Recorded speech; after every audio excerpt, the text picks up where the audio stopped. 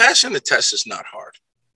Okay, it's 80 questions. If you're in Jersey, it's 80 questions. I don't know where all of you are, but it's 80 questions. You need a 70 to pass.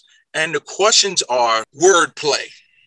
In other words, they say something to make you think they mean something else. Read what it says and answer what it says. And in this job, one thing that'll help you out, especially since you're new, you're going to see a lot of damage.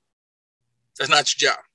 You need to see the policy and know what type of stuff for policy they have so you know it's covered. Then when you see damage, a lot of you fix it yourself stuff.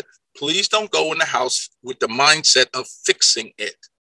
Your job is not to fix it. Your job is only to document the loss.